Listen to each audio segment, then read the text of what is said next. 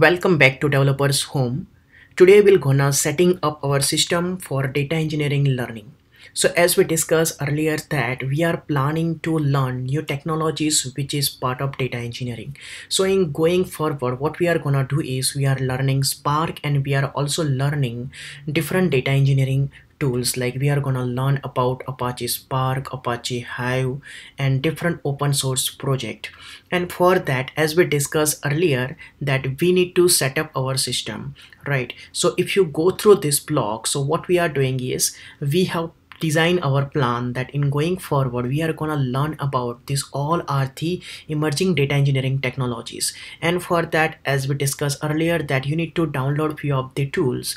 And we are doing setup our system using docker so if you want to understand what is Docker or what is Docker Compose and how to use Docker, please go through earlier videos. You can find videos here and you can also have blogs here on this page. If you go to data engineering and go to Docker, you will have all the understanding on Docker and how to set up Docker Compose and Docker so now today what we are gonna do is in going forward in a starting we're gonna learn about apache spark and we'll be solving data engineering problems using apache spark and also sql and we might be using postgres sql or mysql. We'll be also learning non-sql database which is mongodb or cassandra. So for now we are setting up our system for apache spark postgres sql mysql and mongodb so what i have done is I have created one github repo you can clone this repo and we are installing this all the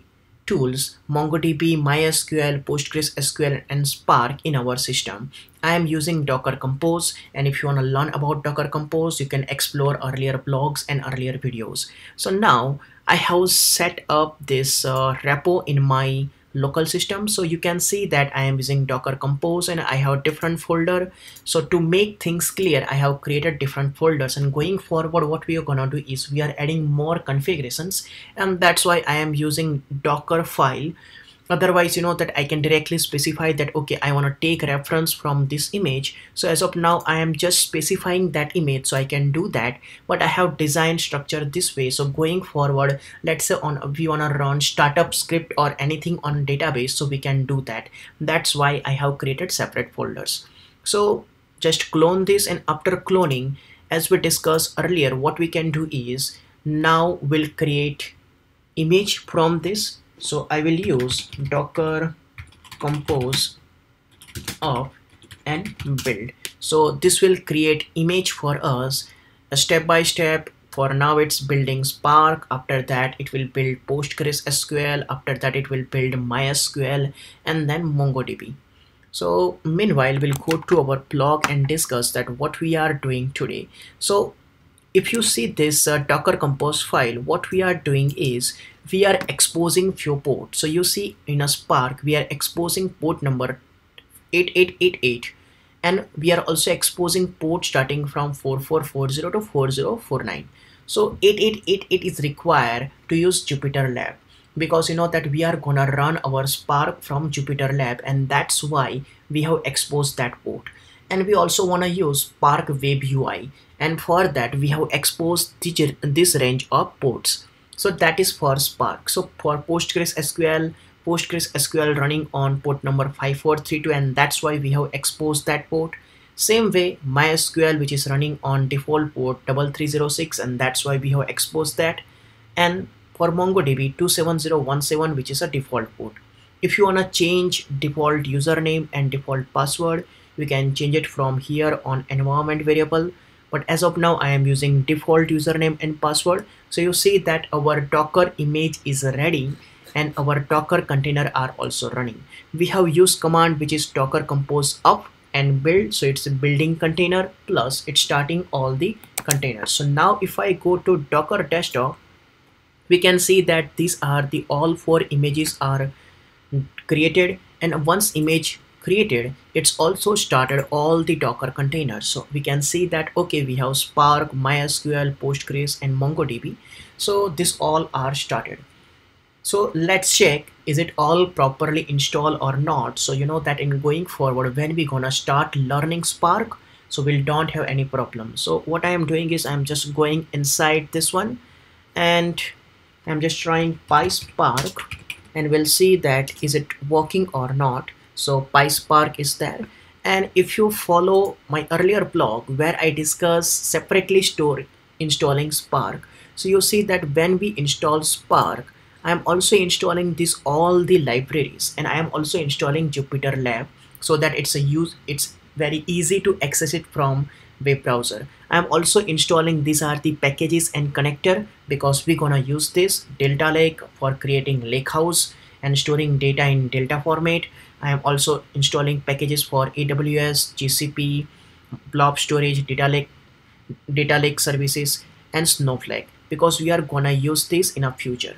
So now going so here we can see that okay our spark session is started and we can see that okay it also provided a UI for us which is started on port number 4040 so we'll just go and check is it working fine or not? So if I go localhost on port 4040 I might be getting that uh, Spark web UI and we can see that okay we have started this Spark from PySpark shell which is correct. So we can explore it from here also. So that is also good. Next step is we also install Jupyter Lab. So we want to see that okay that is working on port number 88 or not. And for that we require that token so there are two ways of getting token. For now if you go to logs you will also get that okay we have this uh, token with URL so I'm just going here and trying and it should work. So we also have Jupyter Lab successfully installed and configured.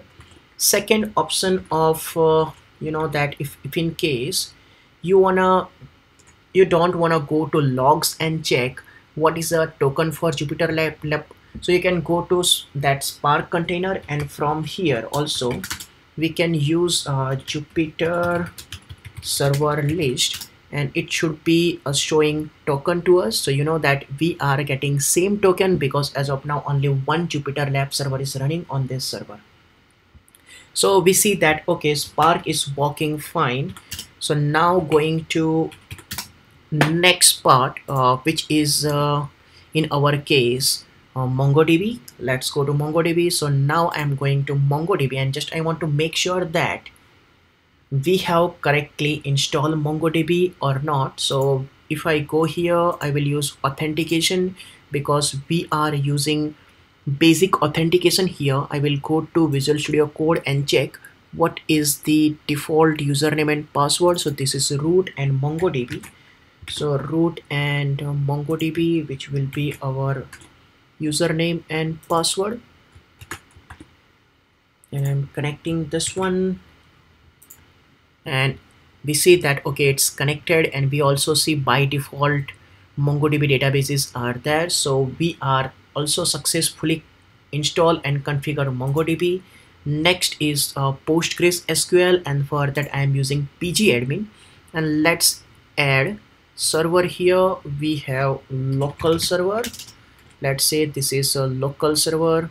And now we'll pass 127.0.0.1 we are running this on port number 5432 and yes we have our maintenance database which is postgres username which is postgres and password is also postgres. So this should be connecting.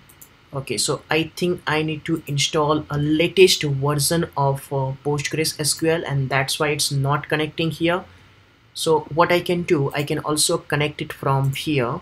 So I will just try from connecting here which is Postgres SQL and if I go and check edit connection so I can see that okay this is also connecting to 127.0.0.1 and same username and password. And we can see that this is successfully connecting. So we do not have any issue with installing Postgres SQL only thing is I just need to update my PG admin because this latest version of Postgres SQL which is not working with this older version of PG admin. So I need to go and update that. Second thing is I now I will try with uh, MySQL.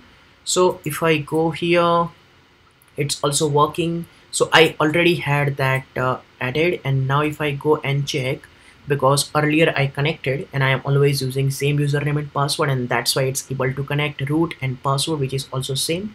So I am also able to connect MySQL.